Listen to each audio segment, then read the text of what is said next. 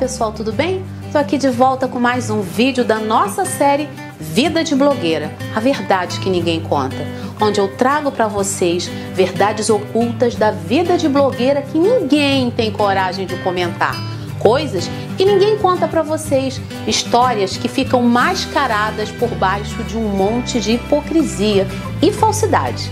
Nessa série vocês vão ficar sabendo de um monte de coisas que sempre tiveram curiosidade de saber e que eu faço questão de contar para vocês. Se você está chegando nesse vídeo a partir de agora, eu aconselho que você volte lá para o vídeo número 1 e venha assistindo todos os episódios da série. Depois você vem para cá e assiste esse. Se você já assistiu aos outros, seja muito bem-vindo e fique comigo até o final porque hoje tem muita coisa acontecendo por aqui. Conhece há um pouquinho mais de tempo, me acompanha na internet, sabe que eu realizava vários sorteios no meu blog, né? É, eu posso dizer para vocês que foi uma época legal, porque tudo que eu sorteava eu, eu ganhava igual, né? Às vezes eu ganhava em dobro, então se eu sorteava um par de calçados eu ganhava dois, se eu sorteava uma roupa eu ganhava duas peças. Enfim, eu sempre ganhava muita coisa. Tinha muito sorteio, então eu estava ganhando sempre muita coisa. E isso dava um fluxo absurdo no blog, né? Quando eu ia é, pegar o relatório de acessos, dar uma olhadinha, era uma coisa assim louca, porque o blog era muito acessado, era muita gente entrando o tempo todo. Só que o blog nunca foi um blog de sorteios. O Tempo Fashion nunca foi um blog de sorteios, mas muita gente entrava lá só por conta deles.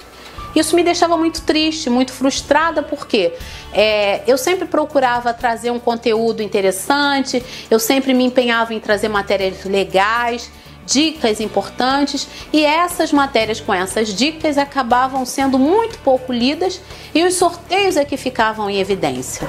O meu Twitter era muito usado para twittar esses sorteios e promoções, então quando eu ia verificar é, as menções que tinham ao meu nome no Twitter era sempre falando de sorteio, sorteio, sorteio. O povo retweetava tudo o que eu publicava a respeito de sorteios e eu comecei a ficar muito triste porque essa nunca foi a minha intenção. Se esse foi o preço que eu paguei por ter recebido tanta coisa, eu digo para vocês que não valeu tanto a pena.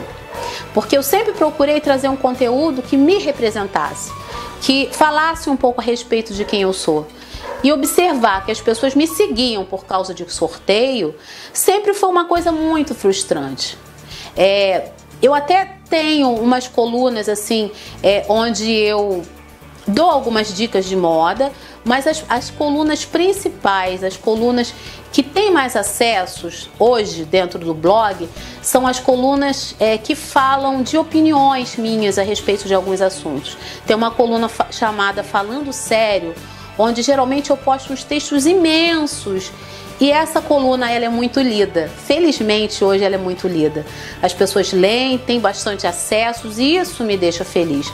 Agora a coisa de movimentar um blog a poder de sorteio é uma coisa que hoje eu não quero, não tô afim, não tô disposta e quem estiver me seguindo por conta disso é melhor desistir, porque eu não vou te dizer que eu nunca mais vou fazer sorteio. Eu até pretendo colocar alguns sorteios no blog, mas não são o ponto alto e não vai ser com aquela frequência toda. Vai ser um ou outro pontilhado e olhe lá. Ainda com relação aos sorteios, eu preciso falar uma coisa para vocês. Infelizmente, existe gente viciada em sorteios. Gente que já acorda procurando onde é que tem um sorteio para se enfiar. Hoje até que diminuiu um pouco, porque com a proibição de não poder estar realizando sorteios, a coisa tem que ser feita na base do concurso cultural. É proibido, mas todo mundo faz, né? Mas diminuiu bastante. Então, hoje é um pouco menos, mas é uma coisa louca. Tinha algumas pessoas que eu conheci nessa época de, de estar publicando sorteios que eu percebi que eram pessoas doentes. Não que você não possa participar de um sorteio. Eu gosto de participar de vez em quando. Agora, aquela pessoa que tem caderninho e vai anotando 200 sorteios, 300 sorteios, 400 sorteios. Aquela pessoa que fica enchendo o saco da blogueira. Cadê o resultado do sorteio? Eu estou esperando. Quem ganhou? Quem ganhou? a vida não gira em torno de sorteio. Então, às vezes, eu estava com o meu dia muito ocupado, com a minha vida muito corrida, sem poder sentar para fazer o sorteio e conferir se seguiu todas as regras, e tinha gente brigando comigo na internet por causa de, de resultado de sorteio. Então, o que que isso me remete? Que alguma coisa está errada. Entendam, não é errado participar de sorteio. É errado você viver a sua vida em prol disso. Tudo que é demais se torna uma doença. E falando em doença, tinha uma, uma participante de sorteios que uma vez eu. Ela teve a felicidade de ganhar uma bolsa, até muito bonita no meu blog. E a empresa que tinha me cedido a bolsa, né? Como eu falei que sempre costumava mandar foto dos ganhadores, né, com os prêmios, a empresa perguntou: "Ah, ela já mandou a foto para você?" E eu toda hora entrando em contato com essa pessoa para ver se ela me mandava foto. Ela me disse que ela nem sabia onde estava a caixa da bolsa que ela tinha ganhado. Porque ela tinha tanta coisa no quarto, pela sala, na cozinha, tantas coisas que ela tinha ganhado em sorteio, que ela nem chegava a abrir as caixas. Que a caixa chegava e ela jogava lá num canto para ver em outro momento. Só que nunca dava tempo. Não dava tempo porque ela já acordava lá no computador para participar do sorteio. Aí o produto chegava, ela estava lá no sorteio. Então ela não abria a caixa. Então, se você recebe coisas que você ganhou, e se você não abre, se você não usa, muito cuidado, com certeza você está doente. Então, esse tipo de leitor, né, esse tipo de leitora, que nem leitor é na verdade, eu quero bem distante porque eu procuro trazer um conteúdo que seja legal. Então eu acho que eu mereço, no mínimo, ter pessoas que gostem do meu trabalho, não que estejam atreladas a mim por conta de sorteio. É, não tenho mais vontade. Várias pessoas, quando vêm fazer pesquisas em blogs ou em sites na internet, é, elas vêm atrás de informações para adquirir ou não um determinado produto. Eu mesma já fiz assim diversas vezes. É, o que uma pessoa escreveu em algum local já me fez comprar ou não um produto. Então eu acho que é super válido quando você recebe um produto, você utiliza esse produto e você emite a sua opinião sincera. Só que infelizmente no meio de blogs, quando a gente ouve dizer que o produto é bom, a gente não pode acreditar, porque elas mentem descaradamente, sabe? Para vender produtos ruins, para conseguir parcerias com empresas que estão de repente dando um din-din, ou às vezes nem dá o dinheiro. Às vezes elas se vendem até por muito pouco, até por nada elas começam a falar bem, a fazer resenhas positivas de produtos que não valem nada. Então, o que, que acontece? A gente se sente chocada porque, poxa, está sendo enganada. Sabe? A pessoa se dá o trabalho de fazer uma postagem para vir com mentira, grava um vídeo falando bem de um produto que é uma porcaria. Que respeito é esse que você tem com os seus leitores e com as pessoas que estão te assistindo? Nenhum. Então eu comecei até a postar umas coisas assim de lojas internacionais e vou voltar a postar porque eu vou mostrar para vocês onde é que se compram determinados produtos que elas estão é, dando sites de links de lojas, dando links de lojas que cobram os olhos da cara. Então eu vou começar a botar os sites internacionais, mesmo que eu não esteja ganhando nada deles, tá? Eu vou começar a colocar para mostrar para vocês que dá para comprar as coisas mais baratas. Agora eu acho sacanagem você ter um blog só para você ferrar o seu leitor. Eu acho sacanagem você fazer esse tipo de coisa, sabe? Você simplesmente enganar as pessoas. O produto não presta, como eu já falei.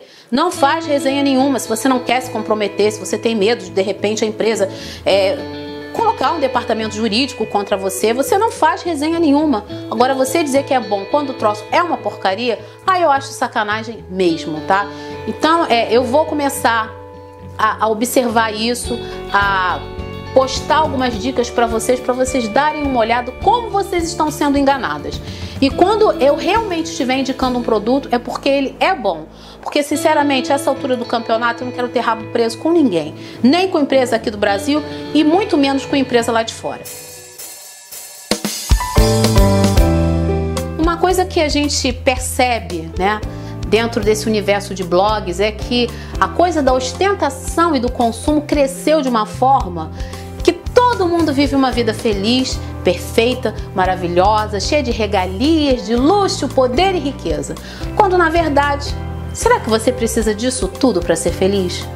Se você precisa disso tudo para ser feliz, eu tenho uma má notícia para você. Você não deve estar bem. Porque de verdade, a gente não precisa ter as coisas mais caras. A gente não precisa estar imersa num monte de coisas. Até porque, vamos ser sinceras, de tudo que a gente tem, o que de verdade a gente usa? Quando eu recebi a minha penteadeira e comecei a transferir as coisas que estavam em outros lugares para ela, eu comecei a achar um monte de maquiagens, um monte de coisas que estavam guardadas, é, utensílios para cabelo. Então eu descobri que eu tenho cinco é, pranchas, né? Dessas pranchas para alisar o cabelo. Eu tenho três Babyliss. Eu tenho um monte daquele antigo Brau que usava. Então assim, eu tinha coisas, tenho coisas que há muito tempo eu não usava. É, e olha que eu sou uma pessoa que eu estou sempre fazendo doação. Eu estou sempre remexendo nas minhas caixas e nos meus guardados, estou sempre me desfazendo de um monte de coisas. Mas ainda assim, tinha um monte de maquiagem. Eu até já mencionei para vocês no outro vídeo, depois vocês procurem, o que tem no guarda-roupa da sua alma é esse tipo de coisa que acontece com a gente. Porque às vezes a gente quer tanto uma coisa que a gente até já tem. A gente acaba acumulando uma série de coisas e depois percebe que nem precisa dessas coisas para viver, porque não usa. Então são montes e montes de paletas com cores maravilhosas, com cores bonitas. Você usa elas todas? Quantos batons você realmente usa no seu dia a dia? E aquela quantidade imensa de blushes, de, de base, de corretivo? Você usa aquela quantidade toda de maquiagem que você tem? Com certeza não. Então essa coisa da ostentação é, é um sinal de que a pessoa realmente não está muito bem. Porque eu vejo blogueiras falando que gastaram milhões comprando isso, aquilo, aquilo outro, quando na verdade eu acho que o papel da blogueira deveria ser muito mais social do que simplesmente voltado para essa coisa de ostentação. Hoje eu posso dizer para vocês que eu prefiro mil vezes é, correr atrás das coisas que sejam mais em conta para poder investir o meu dinheiro em outras coisas do que simplesmente gastar tudo num lugar só, só para dizer que eu posso. Vou contar uma experiência pessoal. É, eu gostava muito de comprar bolsas na Carmen Stephens. Aliás, eu não tenho nada contra a loja. As bolsas são perfeitas, é, o material é bom, a ferragem não enferruja, sabe? A manutenção é eterna. Enfim, eu nunca tive problema com nada que eu tenha comprado lá. Mas as bolsas não acabam. O material é bom. A gente paga muito caro nelas, né? Mil e poucos reais, dois mil e poucos reais. E você acaba tendo uma bolsa que não acaba e que daqui a pouco você está enjoando dela. Aí você enjoa, você encosta lá no guarda-roupa. E tá ali dois mil reais encostado num cantinho. Que você comprou com dificuldade, que você né, pode ter até comprado à vista, mas de repente não foi tão fácil. Ou então parcelou, você comprou um produto que você encostou. Depois que eu comecei a ver a quantidade de bolsas que eu tinha de lá encostadas, começou a cair a minha ficha que eu deveria ter investido esse dinheiro em algo muito melhor. E o que é algo muito melhor? Simplesmente guardar o dinheiro, ou fazer uma boa viagem, fazer um curso, fazer outra pós-graduação, comprar um carro, né? ou pelo menos ter o dinheiro para você dar uma boa entrada. Tudo isso se torna um bom investimento você pode comprar um móvel, um móvel demora para acabar. Quando você é uma pessoa cuidadosa como eu sou, o móvel dura anos. Você pode fazer uma reforma na sua casa, você pode fazer uma infinidade de coisas que serão muito melhores do que simplesmente comprar uma bolsa para ficar esquecida no fundo do seu guarda-roupa. Então o que, que eu fiz? Felizmente consegui vender todas as minhas bolsas, todas as que eu quis vender, né? Fiquei com algumas, mas vendi a maioria das bolsas no Mercado Livre, não me envergonho disso, porque uma coisa que estava parada se transformou em dinheiro, consegui recuperar parte do que eu investi, uma boa parte. E digo para vocês hoje, esse tipo de coisa não faz mais a minha cabeça, sabe? Porque, como eu estou falando, é muito mais interessante que você faça coisas que tenham futuro, Agora você tem que ter uma bolsa de tal marca. Tem, tem que ter. Será que você realmente tem? Vai usar todas? Ou aquilo vai ficar lá esquecido? Então, assim como a experiência dessa bolsa, tem tantas outras coisas. Tem gente que fala que precisa desesperadamente daquele par de sapatos daquela loja cara e nem usa. Tem sapato que é bom, que é lindo e maravilhoso, mas que acaba com o pé da gente. Tem sapato que é só para você sair daqui na esquina. Quando você volta, você já volta aleijada com ele na mão. Porque machuca. Preço não é, nem sempre é questão de qualidade de conforto. Então você tem que encontrar alguma coisa que te faça bem, alguma coisa da qual você goste, que tenha um preço acessível sim. A gente está vivendo um período complicado na nossa economia. E eu acho que é muita infantilidade você enfatizar que você tem que comprar tudo do mais caro, quando na verdade você poderia investir esse dinheiro em alguma coisa muito melhor. E fiquem ligados, porque tem muito mais coisa vindo nos próximos episódios por aí. Então, antes de você ficar se questionando porque fulana tem aquele sucesso que você não tem, você deve investir no que você faz. O tempo que a gente gasta pensando no outro, a gente deveria estar investindo em si mesmo. Então deixa a outra lá, se é famosa, se enricou, se viajou, sabe? Se está na televisão, se está ganhando muito dinheiro, deixa ela lá. Corre atrás do seu.